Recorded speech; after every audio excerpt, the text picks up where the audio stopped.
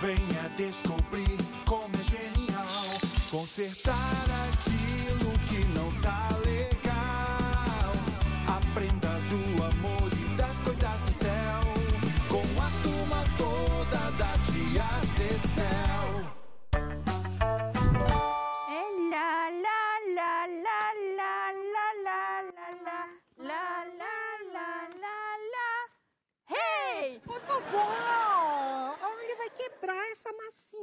eu fiz com tanto carinho. Ai, Cecel, eu gosto tanto de fazer pãozinhos. Ai, é muito gostoso mesmo, né, vovó? E quando o pãozinho sai do forno? Ah, que delícia! Ai, eu amo.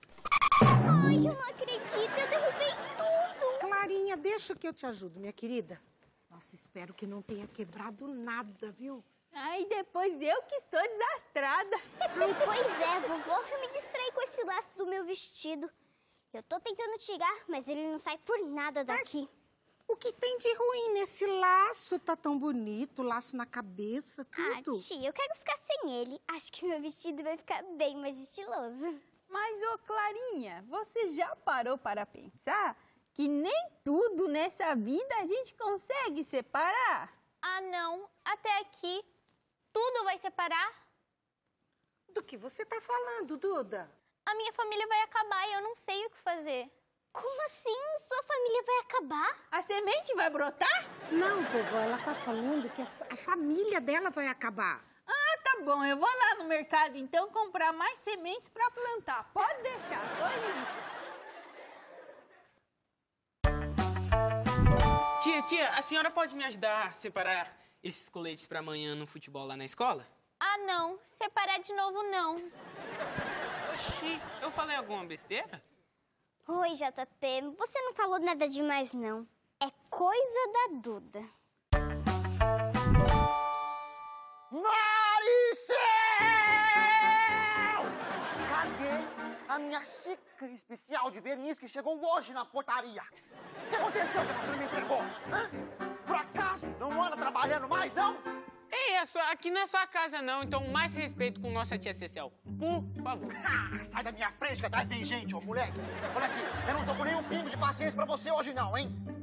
Mal educado. Ei, ei, ei! Agora o mal educado é ele, seu Ronilson? Em primeiro lugar, isso aqui é uma conversa de gente grande. Portanto, não chegou no maternal. Em segundo lugar, eu sou o seu chefe, Maricel. Portanto, eu falo com você do jeito que eu quiser. Eu não sei se o senhor sabe, mas falar com qualquer pessoa de tal maneira que ela se sinta ofendida dá processo. Calma, é, não vamos nos exaltar. Tá bom. Não que eu esteja errado, nem nada. É, mas se faz vocês se sentirem melhor, eu não quis ofender ninguém. Eu só queria saber o que foi. Agora aprendeu a ser educado. Eu, hein? O que o medo do processo não faz? JP, deixa pra lá. Você não, não tem nada a ver com isso. Fica tranquilo. Seu Ronilson, é o seguinte. A Clarinha trouxe todas as encomendas hoje pela manhã aqui pra mim. Só que eu não tive tempo de separar cada uma, muito trabalho dentro dessa oficina, mas eu prometo que ainda hoje eu separo tudo e entrego tudo para o senhor. Até porque, né? Essa portaria deveria ter, assim, uma pessoa certa. Um dia a Clarinha, outro dia a vovó. Todo mundo ajuda nessa portaria. O certo, né, JP, seria ter uma pessoa fixa nessa portaria. É, exploração também dá processo. Ah, fica na sua aí, ô moleque enxerido. Eu, hein? Olha aqui, Maricel, tá bom, eu aguardo a sua ligação. Mas é que eu tô muito ansioso pra receber minha xícara. Eu não posso guardar tudo junto, eu preciso separar pra guardar pires e xícara, tudo separado. Agora eu entendi porque a Duda saiu correndo. Por que todo mundo hoje tá tentando separar alguma coisa? Olha aqui, moleque, eu não tenho nada a ver com isso, hein? Seu Ronilson, faz o seguinte, ó. Acho que o melhor é o senhor ir para casa ou, quem sabe, tentar solucionar algum problema do condomínio, assim. E assim que eu estiver com tudo pronto, eu aviso o senhor. Tá, tá, tá, tá bom, Maricel. Tchau pra você. Tchau, tchau. Clarinha. Eu achei esses bilhetes lá na geladeira. Um diz assim: Vou dormir na minha mãe E o outro diz: preciso de um tempo para estudar essa situação. Mas, Duda, o que, que isso significa mesmo? Você não tá vendo? Meninas, o que, que está acontecendo? Posso saber? Eu acho que a confusão foi grande pelo visto. Tia, é que eu descobri que meus pais vão se separar. O quê? Tem certeza? Ô, Duda, você tem certeza disso? Eu tenho, tia. Esses dias minha mãe estava ouvindo uma música na rádio. Ela é linda. Diz assim: O que será que meu Deus pensava quando criou você?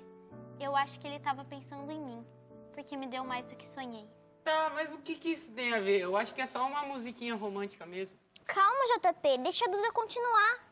E aí minha mãe disse assim: Eu não aguento mais ouvir essa música. Era minha e do seu pai quando éramos mais novos. Mas, Duda, pode ser que ela já tenha ouvido tantas vezes essa música que enjoou, cansou dela, entendeu? Sim, tia, mas esses dias eu entrei na cozinha e minha mãe disse assim: Então você vai para um lado e eu vou para o outro. Mas isso não quer dizer que eles vão se separar, Duda. Mas, tia, aí meu pai respondeu: Vamos ter que nos separar mesmo, se quisermos que dê certo. Tia, eu não queria que eles se separassem. A nossa família era tão feliz junta. Eu te entendo, Duda.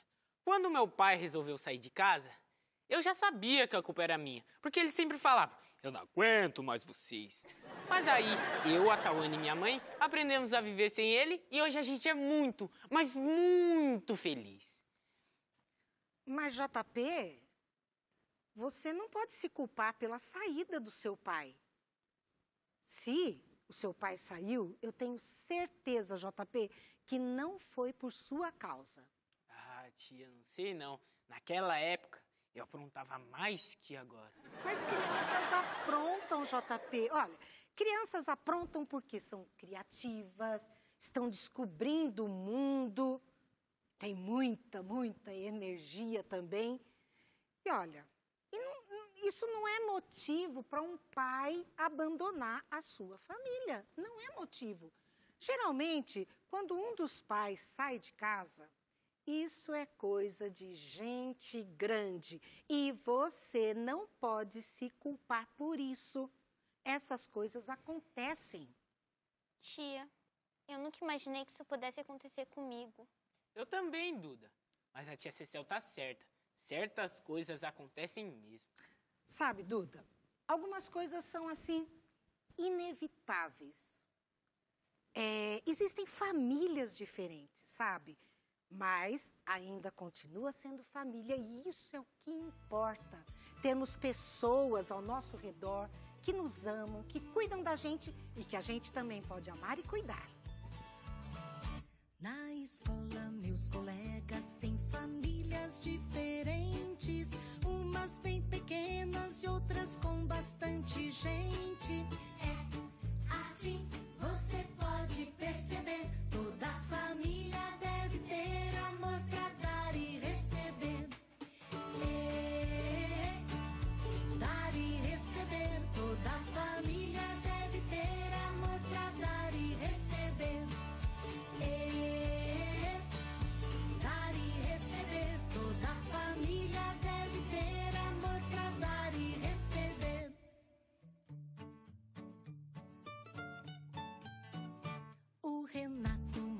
só com sua mãe e seu irmão.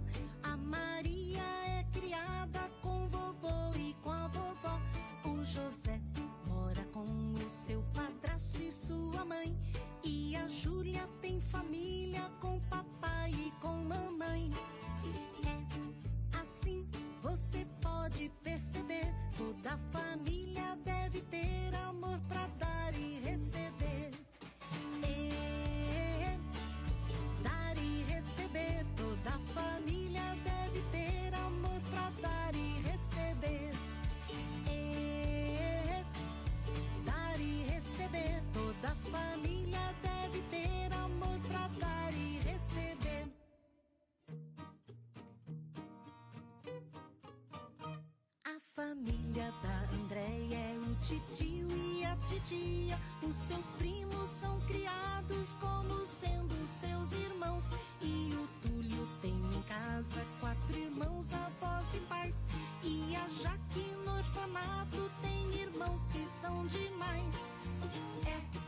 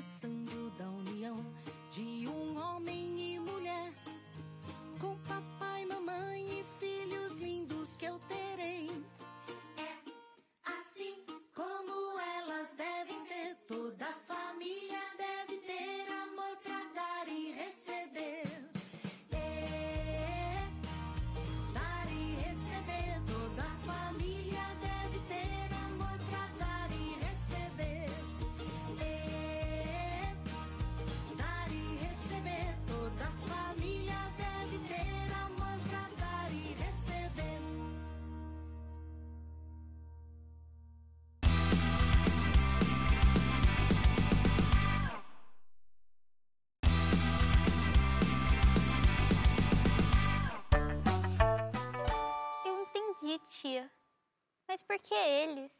Por que a nossa família?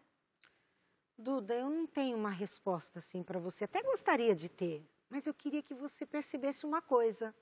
Você tem um pai, uma mãe que te amam e você também tem aqui seus amigos. Mas, tia, não podemos fazer nada. Crianças, os adultos são complicadíssimos, sabe?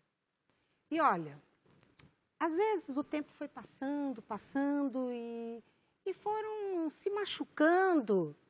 A Bíblia fala que a separação é algo assim terrível e que, se a gente puder evitar, que evite. Mas muitas vezes a gente não tem como ajudar. Eu tive uma ideia. Ai, tenho medo das suas ideias, Clarinha. Você é muito romântica. Essa é fácil, JP. Liga pra vovó, pede pra ela fazer um bolo bem gostoso. E, tia, você poderia nos dar algum desses pãezinhos quando eles estiverem prontos? Claro, mas qual é a sua ideia, Clarinha? Tia, você confia em mim? Confio sim. Então vem comigo que eu te conto tudo no caminho. Beleza. Duda, você e JP precisam dar um jeito nessa mesa. Deixa ela bem organizada. Coloca uns corações por aqui, umas velas por aqui, uns corações aqui também. Ai, na caixa da Tia Cecel tem bastante material pra isso, viu? Ufa, cansei um pouco, hein, JP? Eu também. Esse negócio de ser romântico não é comigo, não. Se um dia eu casar, vai ser sem romance. Dá um trabalhão. Alguém chamou um batalhão? Sabe, tô pensando aqui, eu vou contar pra vocês a história de um casamento muito, muito bonito. E essa história está na Bíblia. Casamento mais bonito na Bíblia? Naquela época não tinha nem bufete.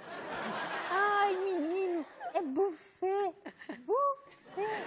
Não, JP, realmente não tinha, mas eles eram bonitos, os casamentos, porque não faltava a presença de Deus.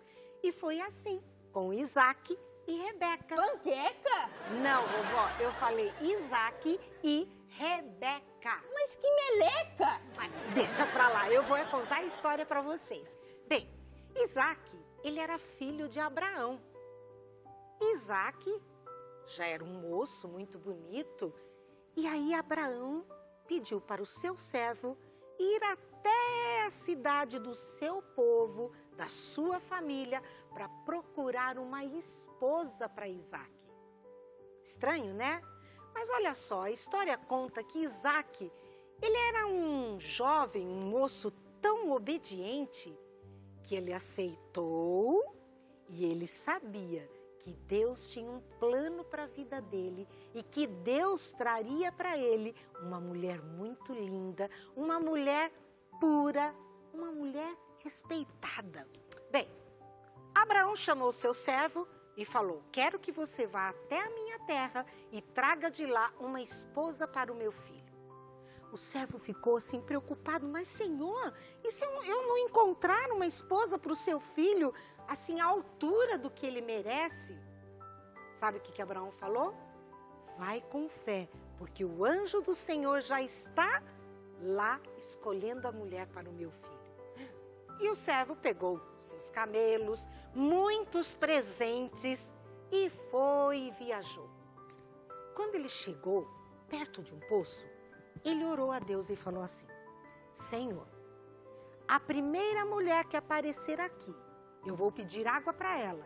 E se ela oferecer água para mim e também oferecer de dar água para os meus camelos, essa mulher será a escolhida. E foi assim.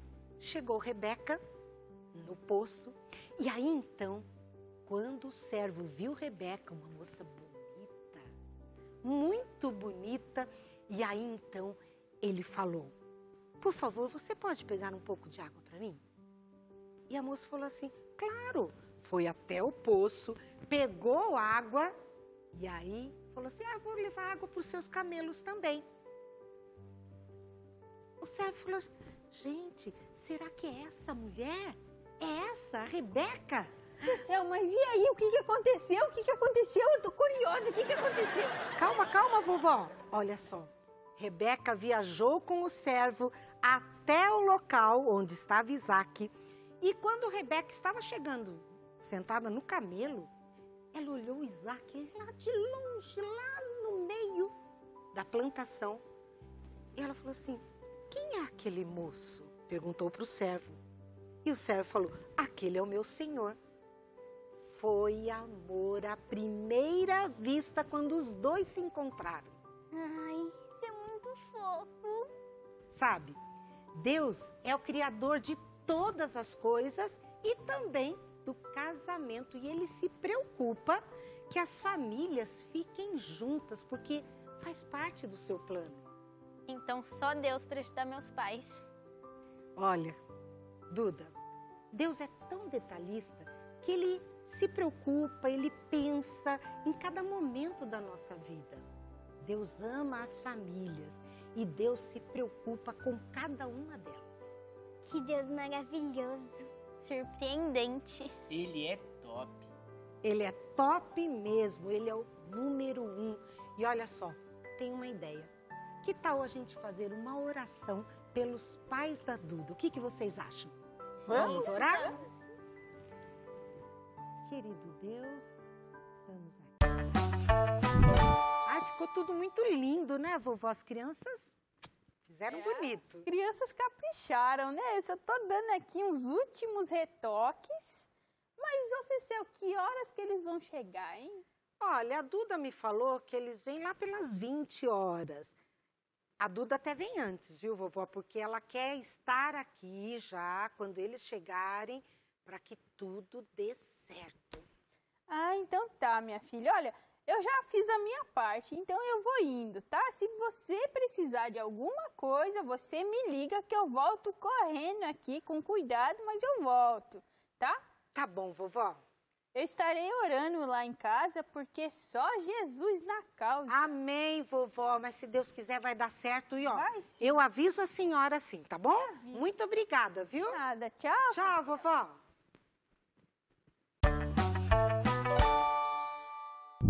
Ai, tia, eu tô um pouco nervosa. Eu entreguei o convite para minha mãe. Ela agradeceu e colou na geladeira. Eu não sei se ela vai vir.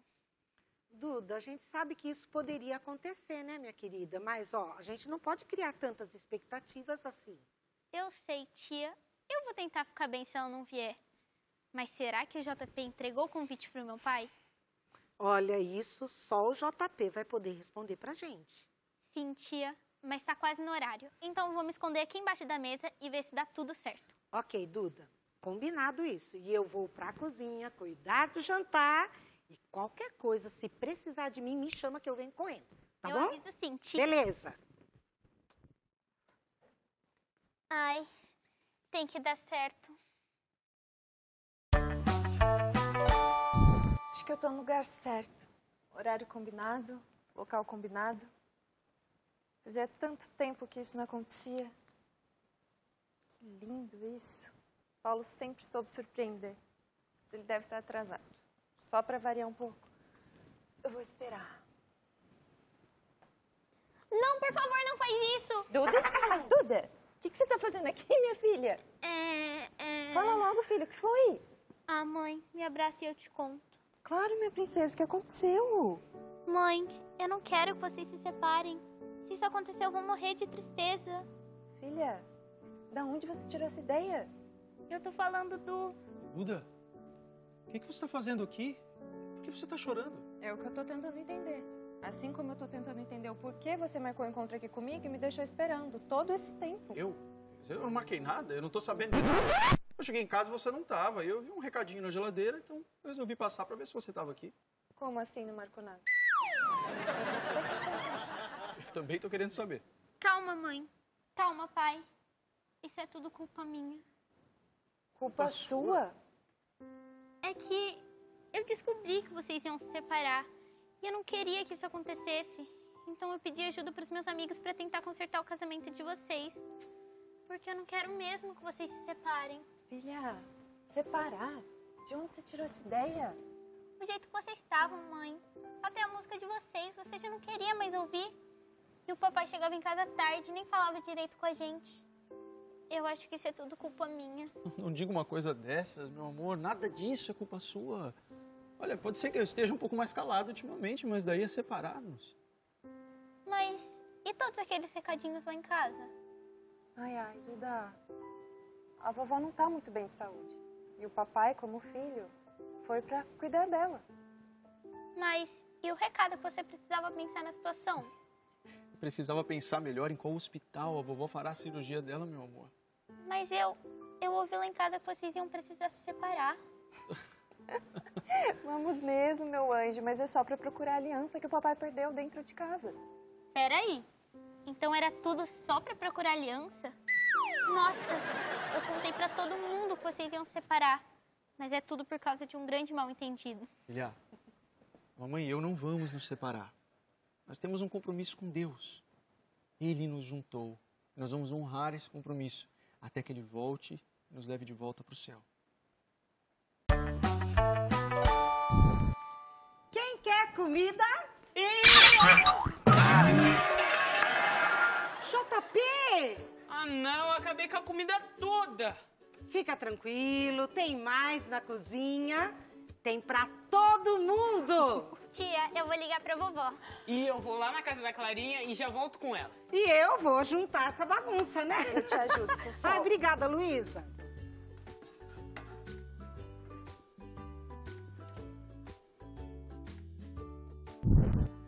Gente, eu peço desculpa. Foi tudo por um grande mal entendido. Ninguém vai se separar. Ai, que. Ufa, deu tudo errado. Mas no final parece que deu certo, né? Ô, JP, mas explica uma coisa pra gente. Você não entregou o convite pro meu pai, né? Bom, é que aconteceu. JP, sem enrolação. Eu me distraí com futebol. E depois veio com sua cabeça de vento, né, JP? É, mas no final nem precisou de bilhete. Pois é, o importante é que estamos todos juntos, felizes e sorridentes. E ninguém vai se separar.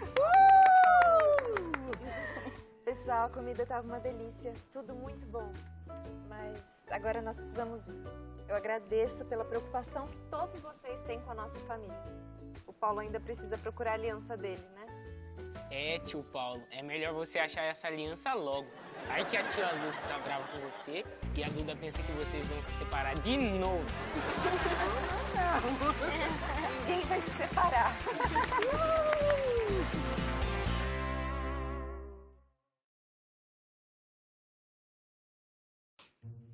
Ô, Maricel, mas tá difícil de você me entregar a minha encomenda, né?